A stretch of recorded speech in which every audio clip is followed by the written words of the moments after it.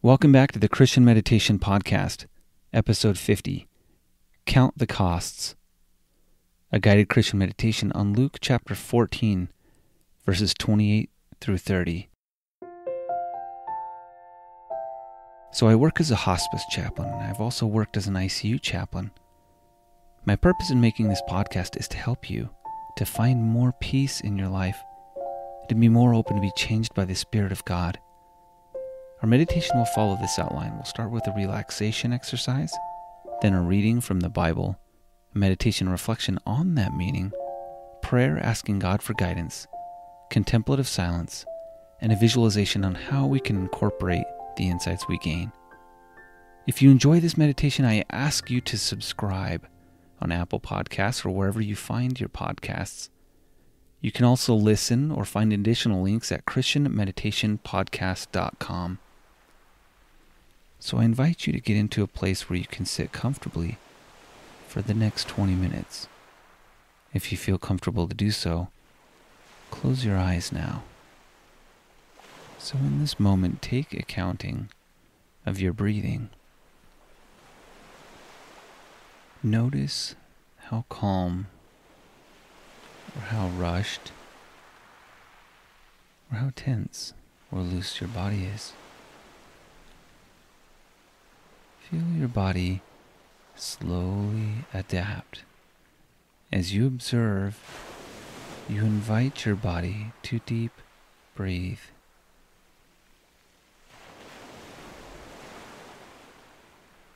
With each passing breath, you feel more calm.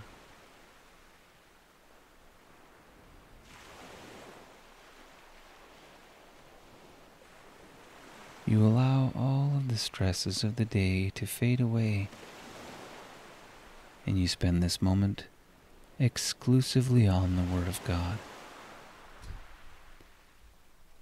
You realize that this moment is an ideal time to feel closer to the Lord. As we read from His scriptures, we will feel His peace in our lives.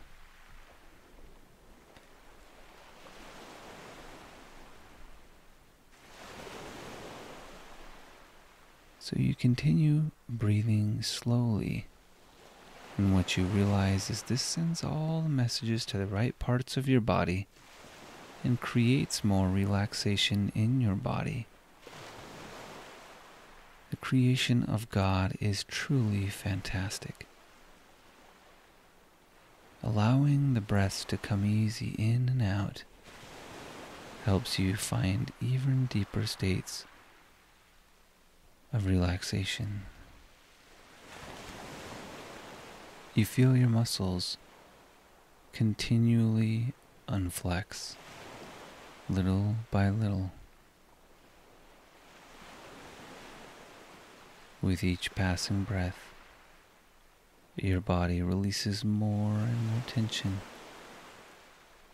until only peace and calm remain inside of your body.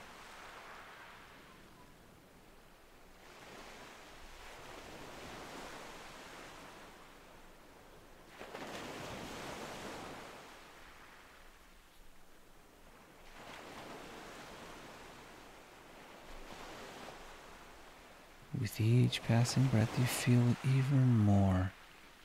And you now do a scan of your whole body.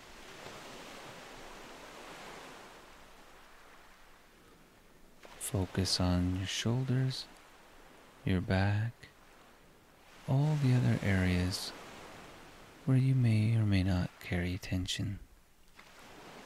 And during this time, these areas are calm and relaxed. Your body begins to prepare to receive the voice of the Lord through His scriptures.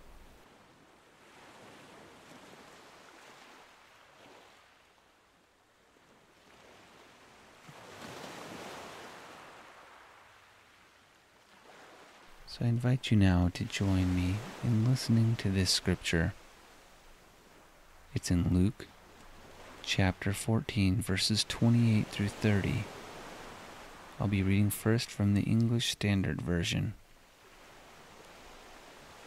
This is Christ relating a parable, and he says, For which of you desiring to build a tower does not first sit down and count the cost, whether he has enough to complete it? Otherwise, when he has laid a foundation and it is not able to finish, all who see it begin to mock him, saying, This man began to build and he was not able to finish. Pause reflecting on this meaning.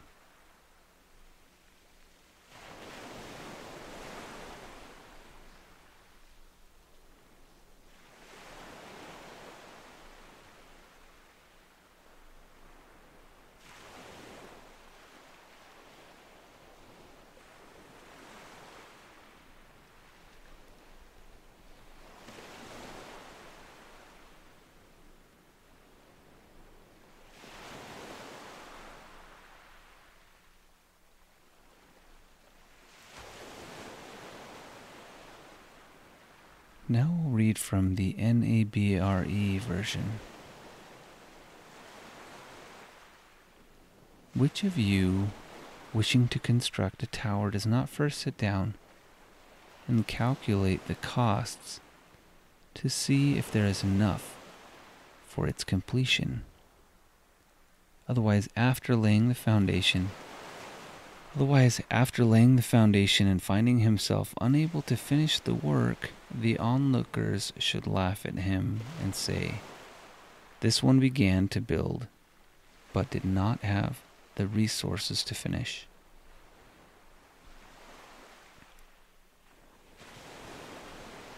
Continue breathing deeply as we reflect now on this scripture. So here Jesus outlines an important theological thought. If you listen to the podcast for a while, you have probably heard many scriptures that outline our dependence on God and our futility in trying to do everything ourselves. So much of scripture talks about this. This scripture lays out somewhat of a, a seemingly different paradigm. It shows that we need to plan. St. Augustine said, Pray like everything depends on God, and then work like everything depends on you. And this quote perhaps is an oversimplification, but it demonstrates a complex dichotomy. We should plan and work while at the same time trusting in the providence of God. So this seems like a contradiction but it also brings humility to us and allows us to enhance our drive to follow at the same time. To accomplish great things, we have to do the best that we can in everything. This involves planning on our own and consulting God in prayer. Having faith in God does not excuse our lack of focus in working towards positive goals. We cannot do difficult things without truly pushing ourselves. Yet, as it says in Ecclesiastes, there's a season for everything. And we shouldn't run ourselves into the ground with our efforts. So I hope this comes across in the right way. Basically, the spirit of humility and gratitude is the way this is intended. As you probably know, I graduated from my master's in religious studies, and I've also completed the requirements for another master's degree. This has required a lot of sacrifice and work by me and my family. Yet God has certainly been instrumental in this plan. I've seen it come together in amazing ways. Sometimes we see this conflict between our efforts and the efforts of God. Ultimately, in the wisdom of God, He knows the future and the past and how He operates, and we do not. This scripture shows us how we should plan and do the best we can, trusting in God for the rest. I find it interesting, though, that this scripture points out as the greatest downfall of building the tower is the scorn of others. Which perhaps should not be as motivating as the salvation of God. Nevertheless, that's the context of this particular analogy. Now, Jesus follows up with a couple other analogies where he talks about an army coming to invade, and that one is much more grim. And that one's much more serious. Nevertheless, I think it's important here.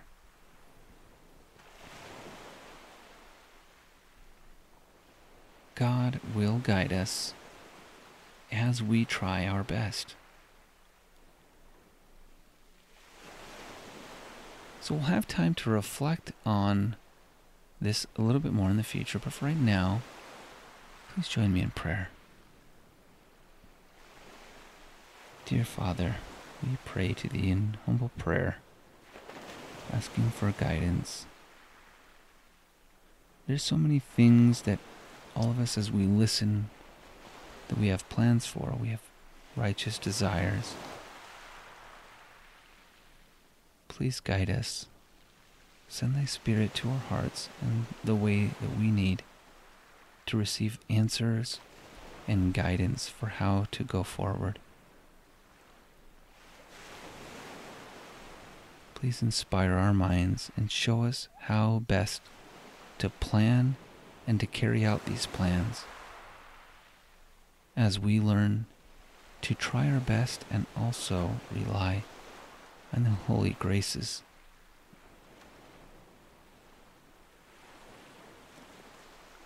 All these things we pour out our hearts in gratitude. And we also ask, in the name of Jesus Christ, Amen. I invite you to continue in prayer now.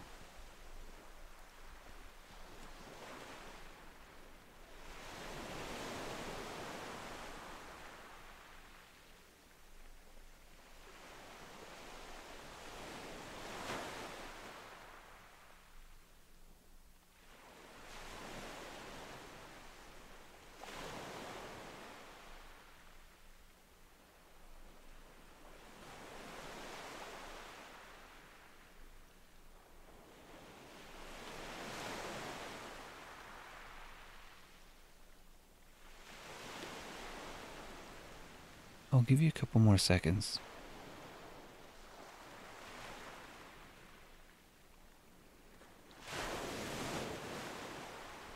Now that we've had an opportunity to slow down, read from the scriptures, reflect on that meaning, and ask God for guidance, I invite you to sit in silence now, resisting the urge to think too hard.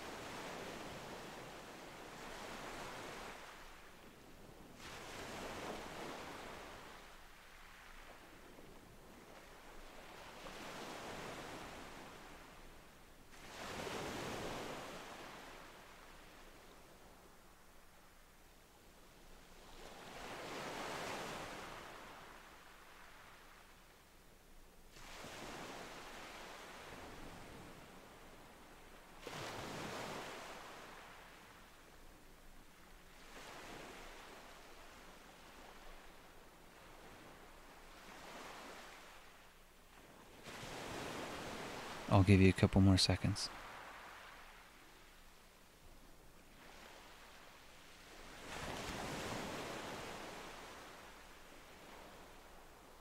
Use this experience now with God and visualize how your life can change and improve based on this scripture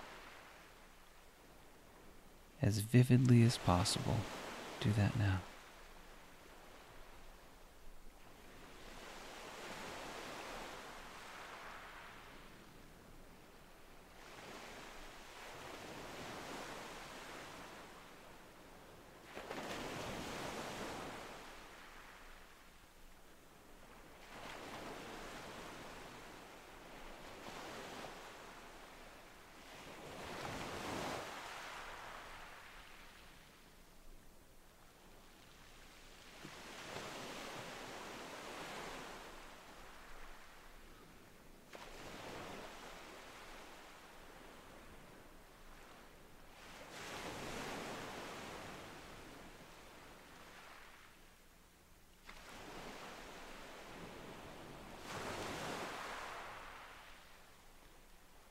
I'll give you a couple more seconds. Being able to describe our experience is profoundly important. As you've had these encounters with the Word and with God's Spirit, I invite you to try to figure out how you would explain this to someone else. And to ponder how you will do that either in journal form, in an email or text, or by calling someone up.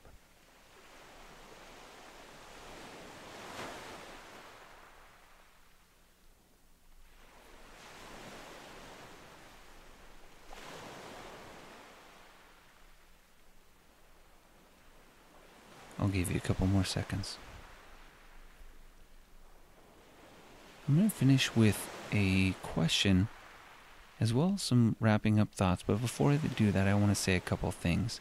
Thanks for joining me today. I release a new episode every Sunday morning at 1 a.m. Mountain Time in the United States. I would love to hear your feedback, and I realized an easier way to put out my contact information is christianmeditationpodcast.com forward slash contact. If you go to that page, you can fill out the form that will send me an email directly. Again, that's christianmeditationpodcast.com forward slash contact. I want to thank my most recent Patreon subscriber, Thomas. Thank you so much for your donations. I've had so many people recently, and I think I think I want to give you guys a shout out when you sign up on Patreon. I have some additional plans now that I've graduated to spend a little bit more time on creating more unique content for this podcast. Perhaps a video that I, will be putting on Patreon, as well as some other things that I've mentioned in the past, like a journal that can be used in a, in conjunction with this podcast. So again, thank you so much for supporting the podcast. It means a lot. Along with that, I've made a decision to release multiple episodes in a week. I haven't determined if it's going to be two or three, but that's probably what I'll be looking at, due to the fact that I still will be working some, and it takes a lot of time to put together these podcasts.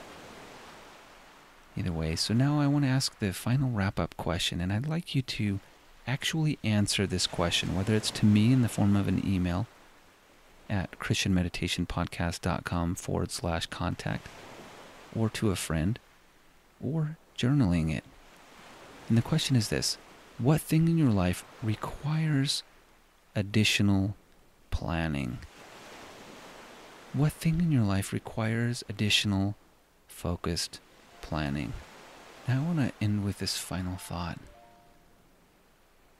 I hope that this powerful message of accountability and increased desire and focus on our own parts does not diminish the ever present and far more important aspects of the power of God. It would be disingenuous to say that our efforts are the most important things in our life. However, God shows in Scripture in several places that this is what He expects, expects from us is to do our best. He wants us to try and by so doing, we learn and we grow.